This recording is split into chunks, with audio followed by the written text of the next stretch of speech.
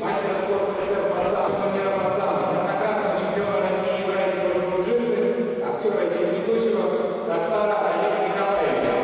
Звезда голливудских блокбастеров, чемпион мира по смешанным единоборствам, мастер спорта по дзюдо и самбо Олег Токтаров впервые в Одинцово. Не с пустыми руками, а с новыми знаниями для тех, кто готов постигать азы самбо, дзюдо и армейского рукопашного боя. Мастер-класс для воспитанников спортивного клуба «Альфа-единоборство» стал событием, которого ребята и тренеры ждали два года. В Одинцово Олег Николаевич прибыл из Ростова, где завершился кинофестиваль, продюсером и организатором которого выступил он сам. Он мечтал быть артистом, но родители отдали в спорт. Будущий чемпион UFC родился в городе Арзамас-16, ныне Саров. Начал заниматься самбо в местной школе. Ездил по соревнованиям, отслужил в армии, а в лихие 90-е пришел в бои без правил. Грезы о голливудской карьере не давали покоя герою рингов. Он отправился за океан с надеждой и кое-какими сбережениями, которые быстро закончились. Левой рукой одновременно потолкать друг друга. Что вы наблюдаете? Я стою на месте, а Дмитрий от меня отскакивает. Значит, Дмитрию, наверное, нужно будет собрать спиночку, чуть-чуть пониже согнуться на ногах и, наверное, как-то посмотреть, что же у него со ступнями творится такое. Почему, почему он так, почему он так отталкивается? Почему я на него наступаю, а он теряет равновесие? С каждым разом мы стараемся все делать сильнее, сильнее. Я вдруг понимаю, что вся сила у меня идет от ног. В зале спорткомплекса Одинцовского гуманитарного университета самбисты, дзюдоисты и рукопашники. Свой мастер-класс Олег Токтаров начал с простой и понятной истины. Уважайте партнера и слушайте тренера. Для начала несколько простых приемов по-токтаровски. Олег Николаевич настаивает, умение правильно падать – это основа боевой дисциплины. Если вы подходите ко мне, я вас останавливаю. Обратите внимание, я не просто толкаю колено, я колено толкаю немножко в сторону. Если вдруг он ко мне подходит ближе, я могу вышибить оба колена. Если вдруг я увидел его пятки, я могу эти пятки опять же вышибить. Если я вышибаю сюда, это будет сделать легко. А если я буду вышибать в другом направлении, это будет сделать невозможно. Вот, смотрите, сюда невозможно. Сюда, ну, чуть-чуть возможно, но не так легко, как по, по направлению роста больших пальцев. Если обратить внимание, коленки вот здесь, внутри, имеют такие точки болевые, на которые ты нажимаешь, и коленка начинает вдруг неожиданно сгибаться и расширяться. Человек теряет равновесие. Это я вам сейчас все рассказываю, но все это вы сейчас должны будете использовать, попытаться на собственном опыте это все найти. Аккуратненько, без фанатизма. Если я увижу, что кто-то кого-то пинает, я подойду и пну сам. Поняли, нет? Основная, конечно, опасность, э, если брать все вместе, у нас реально люди просто не умеют падать. Особенно зимой, поскользнулись, упали, все. Это и взрослые, и дети. То есть взрослых в свое время не научили падать, а детей никто не учил. Вот у нас дети сейчас умеют падать. У нас дети получили сегодня какие-то основы, какие-то нюансы, что на это можно потом будет наслаивать любые движения приема. То есть привести можно кого угодно. У нас тут специалистов полно. Но все эти специалисты дают э, ну, как бы поверхностные, поверхностные знания. То есть если нет основы, то накладывать знания иногда бывает бесполезно. Это дерево, оно может просто себя стряхнуть листву в один момент, все забудется и ничего не работает. А, вот сегодня я попытался просто дать основы. И для меня было очень важно, чтобы тренера а, это почувствовали, поняли, что насколько это важно. Вот именно такая методика. Про правильное падение и в жизни, и в спорте наш герой знал не понаслышке. Оказавшись перед угрозой выдворения из США, самбист и дзюдоист Токтаров пошел на крайний шаг – бои по смешанным единоборствам UFC. Дебют состоялся 20 лет назад в пятом по счету турнире, проходившем в Северной Каролине. Его назвали «Русский медведь» и выпустили на ринг, где российский боец одержал победу, применив удушающий прием. Невероятная стойкость и отвага, граничащая бесстрашием, позволила русскому бойцу Токтарову выиграть шестой чемпионат UFC. Поклонники боев надолго запомнили сложнейшую схватку Дэвида Эббота по прозвищу Танк и русского медведя Тактарова.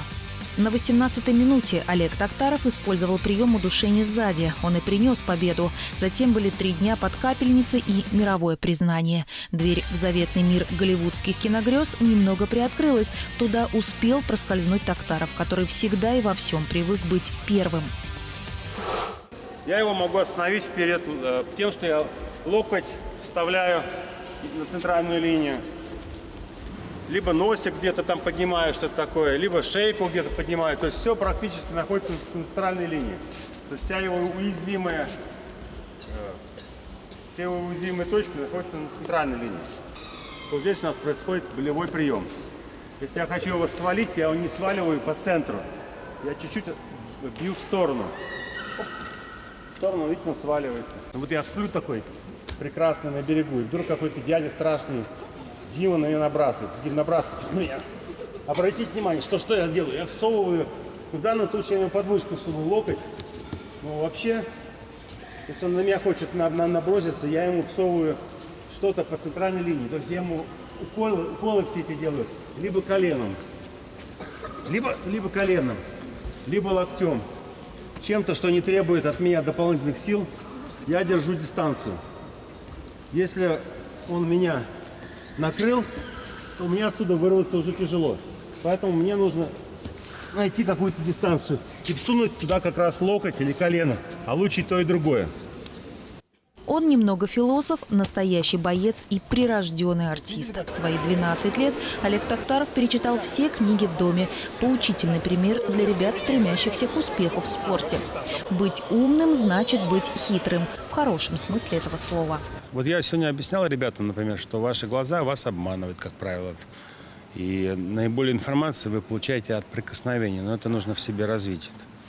Потом, ну, такая элементарная вещь, что ноги, они более важны, чем руки, потому что мы просто даже не умеем ими пользоваться, мы не привыкли. У нас наша культура э, как бы считает, что ноги это грязные, что они не должны быть хитрыми, умными, способными делать какие-то тонкие вещи. Да, ну у нас зима, у нас там ноги в валенку засунул, все, и вот кулачный русский бой – но это уже не работает. То есть у нас э, все давно шагнуло вперед. Ноги работают у меня быстрее, чем руки. Они для меня важнее в партере. Если там две ноги, возьми две ноги. Я по очереди. Одну вытащил и вторую вытащил. И начал работать. Начал его выбивать из равновесия. А руки уже просто довершат. Я, может быть, сделаю душающий, может, делаю что-то еще. Но основную работу я сделаю ногами. Еще одно ноу-хау – цепкие и крепкие ноги. По мнению самбиста и мастера джиу-джитсу Токтарова, хитрость и ловкость ног может стать залогом успеха. Мастер захватов и болевых приемов, знаменитый русский медведь, за годы в спорте разработал несколько тысяч элементов, которые ныне составляют авторскую методику подготовки бойцов по-токтаровски. Вообще, честно говоря, все мое авторское, но что я от кого собрал, я уже не помню. То есть я везде э, эти микродетали, микро вещи, если либо на себе методом научного тыка испробовал, либо у каких-то суперучителей. Бывает, что человек вроде обычный, но выигрывает всех э, каким-то одним приемом. Начинаешь спрашивать, узнаешь, что у него есть какие-то детали, о которых другие не знают. То есть я старался э, каждому влезть, каждому, кто выше других в чем-то был, и выяснить причину успеха. То есть человек может не выигрывать соревнования, но он может делать, допустим, прием любому чемпиону. Понятно, что какие-то есть секреты. А, то есть в свое время в этой голове, я так хотел даже какой-то рекорд сделать Гиннесса, находилось порядка 12-20 тысяч приемов. То есть я не знал сколько, просто нашел ту формулу, когда это все как деревья.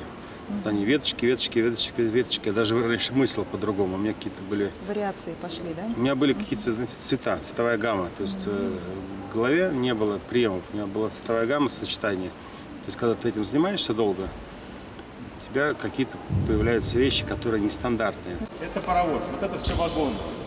Куда паровоз поедет, туда вагоны поедут. Я могу делать, например, заднюю подножку, мучиться, мучиться, мучиться и ничего не свалить, да? А могу двумя пальчиками, вот я был на семинаре Юсухира Ямасита. Вы еще тогда не родились, это был величайший боец японский. Он показывал, что вот так делать заднюю подножку гораздо более эффективно, чем делать ее вот так. Что здесь я поломаю себе связки. Еще как-то нога, наверное, думаю, болит. А вот здесь и мощи больше, и травмоопасности никакой. Видите, как это? И более того, ноги у нас стали поумнее, до конца я стал дотягивать. Туда я его не брошу, я могу его бросить только сюда. Поэтому мне нужно первое развернуть стопу, если я хочу сделать подсечку. Видите, как нежненько, как легко 11 октября 1997 года во время шоу «Прайд» в бою с канадским бойцом Гарри Гудриджем Олег Токтаров получил сильнейший удар по голове, отправивший его в тяжелый нокаут. После курса восстановления боец вернулся на ринг и одержал две победы подряд. В 2001 году русский «Медведь» перестал участвовать в профессиональных боях. Через шесть лет появился в российском шоу «Король ринга».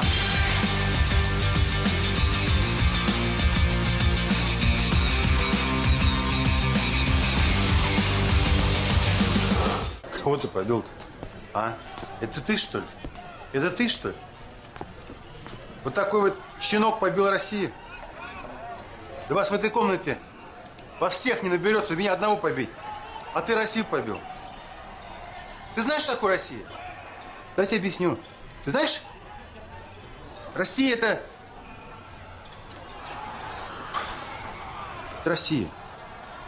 Кинематографическая карьера Токтарова развивалась параллельно успехам в спорте. Наступили долгожданные 15 минут славы. В фильме с одноименным названием Олег сыграл бандита Олега Разгула. Коллегой по киноплощадке стал Роберт Де Ниро. Голливудское киноклише «Плохой русский парень» сменилось предложениями из России. За плечами артиста свыше 40 киноролей. Не хочешь мое кино? Я позвоню другим.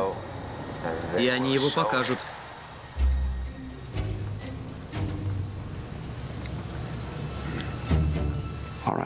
Ладно, я приду. Но от тебя требуются две вещи. Эксклюзивность и сдача мне. Приноси бабки. Вот сейчас опасность вокруг вас. Поэтому, если кто-то головой ударится об кого-то, это будет не моя вина, это ваша вина. Понятно, да? Готовы сейчас от нас убежать? Рика, по моей команде! Стоп! Стоп! Так, волки, вы готовы? Да. На старт, внимание, марш!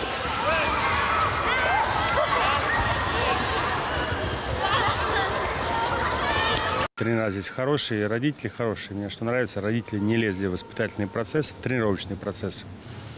И воспринимали э, с благодарностью все, что, что было.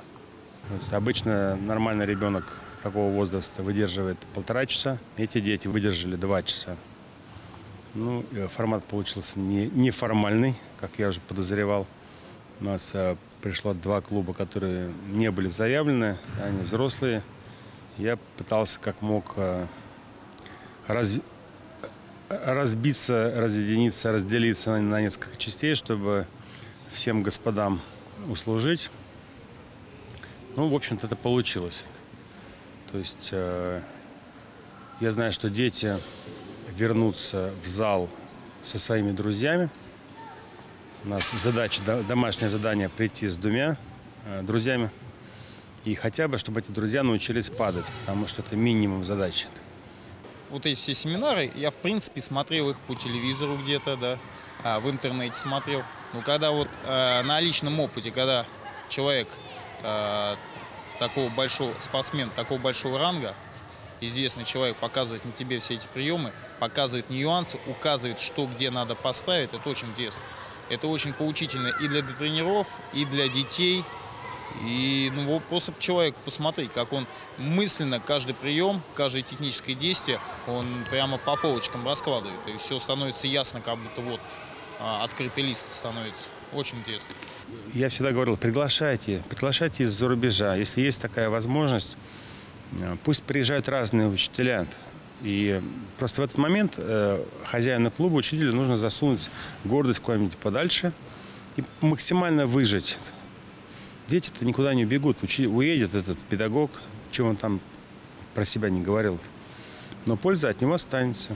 Воспитать своих спортсменов у нас задача номер один, потому что мы именно хотим, чтобы наши одинцовские борцы были именно местными, да, ниоткуда не привлекались ничего. Поэтому у нас задача, как минимум, это мастерство на уровне, а, ну, хотя бы кандидата мастера спорта. Вообще у нас нацелены очень грандиозный план, мы хотим олимпийские медали, чтобы Одинцова было везде и всюду, и самое лучшее. Олег Николаевич, ну я так понимаю, что это ваше первое знакомство с клубом «Альфа» единоборства, да? И будете ли вы курировать, вот как вы уже сказали, будете ли вы дальше работать с ребятами? Духовно я их курировал с самого начала. Просто два года добраться не мог. У нас по графику не, не совпадения были. То есть либо ребята не могли собраться, когда у меня была возможность. Сегодня вот так получилось, что все вроде срослось. То есть я сумел из Ростова прилететь знаете, не доделав там дело до конца, в общем-то, но поверив на слово тамошним ответственным людям, что в понедельник все вопросы решатся, и я решил лучше заниматься пользой. Я приехал, это моя такая добрая инициатива. Ты начинаешь общаться с детьми, и видишь, они тебе доверяют, и ты уже приручила щенят, и ты уже их не можешь отпустить. Они от тебя должны уже уйти обученными. Всех жителей Одинцова, Одинцовского района благодарить Олега Николаевича за то, что он специально сегодня прилетел, во-первых, на город Одинцово. Поделился с вами своим мастерством, показал вам что-то полезное, нужное. И позвольте, что... Говорил пилота присесть в Одинцово, да? Да, что, что приземлился самолет в Одинцово. И позвольте вручить ему от нас всех благодар, благодарность на, на долгую память о приезде в город Одинцово.